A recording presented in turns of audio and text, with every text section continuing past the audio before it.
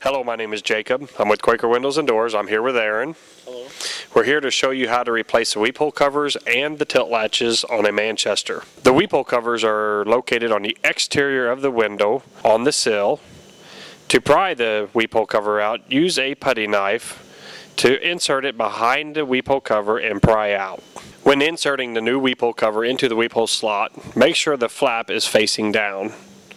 Grab the weep hole cover and push it into the hole into the frame, listening for it to snap to fully be seated. Use the same process to remove the other weep hole.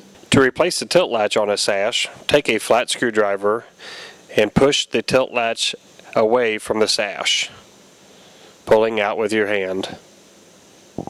To reinstall it, push the tilt latch towards the sash.